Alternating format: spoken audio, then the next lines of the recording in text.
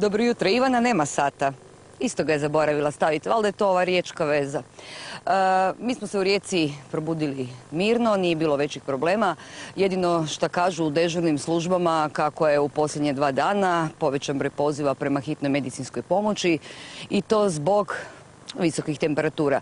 Stoga poručuju i svim riječanima da ako moraju nešto obaviti, neka to obave dok još sunce nije visoko, a kada je ono oko podneva najviše temperature, neka ipak ostanu doma.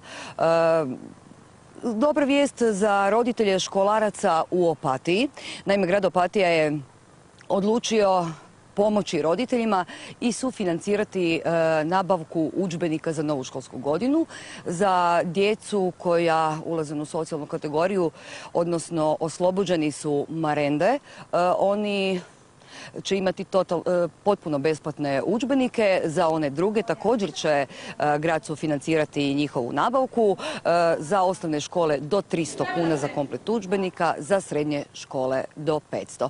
Kada smo već kod najmlađih, ajde idemo malo i do vrtića. Zbog čega?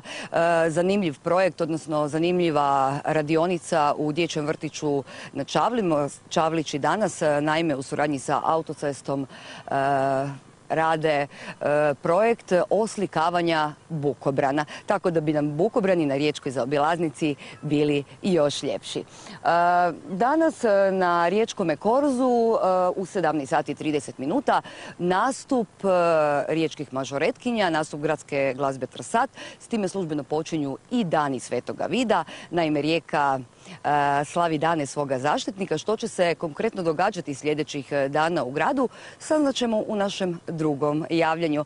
No, prije nego što vas pozdravim za sada, e, idemo ispričati jednu priču. Nekada su ovdje živjele mlikarice. Danas ih zovemo žene, majke kraljice. One su na svojim plećima nosile mlijeko u rijeku. time su prehranjivale svoje obitelji.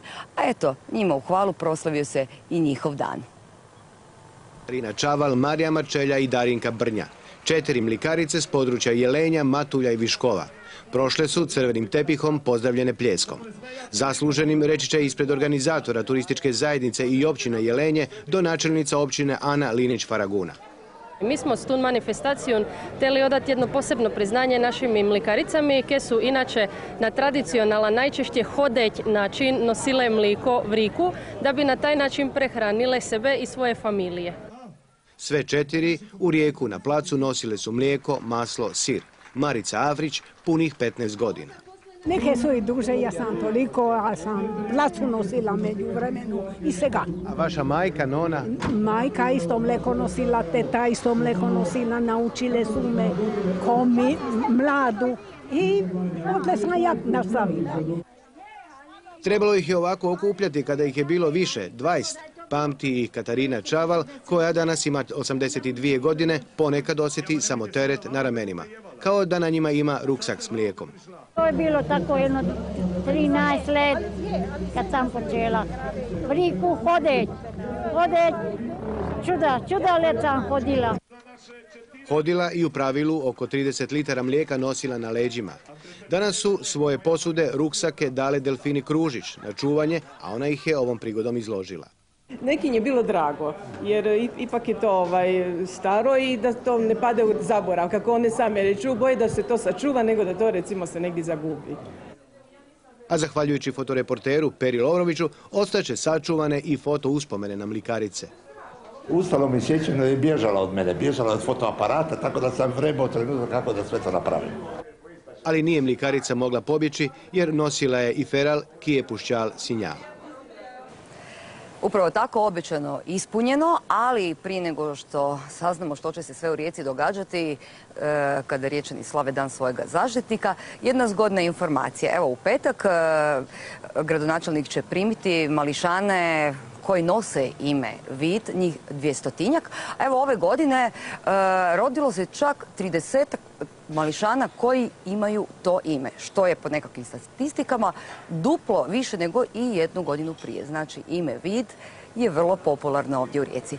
Da, danas službeno e, počinju dani Svetoga Vida. Što će se sve događati? A najbolje zna Doris Šajn iz grada Rijeke. Dobro jutro ti želim, Doris. Dobro jutro. Što nas e, sve čeka ovih dana u gradu Narječini? Pa ovih četiri dana, središnjih dana proslave Dana Svetog Vida, e, u gradu će se dogoditi 50 različitih događanja, od onih vjerskih, e, zabavnih, kulturnih, sportskih. E, nekoliko tisuća riječana, od onih najmanjih do onih najstarijih će sudjelovati u svim tim programima. Puno toga na korzu, puno toga u različitim dijelovima grada. Evo, vjerujem zaista za svakoga po nešto u čast Dana našeg grada.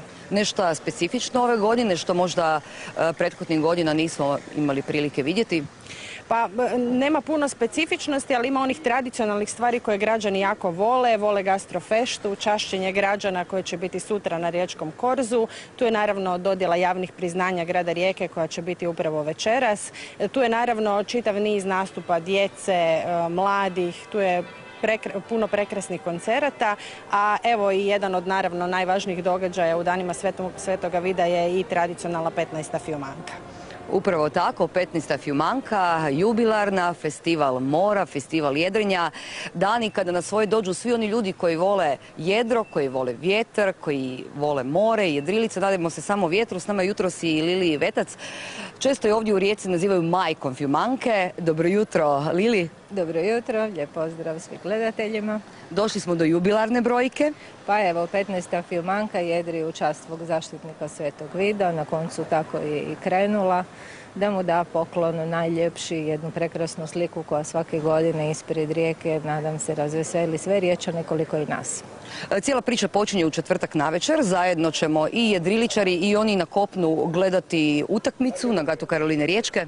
Evo, upravo tako filmanka kreće ovoga puta ne samo sa jedrima, iako imamo sutra isto tako dvije regate, Liburnijsku i Rotari, koje startaju u jutarnjim satima, odnosno Rotari u jutarnjim, Liburnijska u večernjim, ali iz malog lošinja i naravno dati podršku našim nogometašima.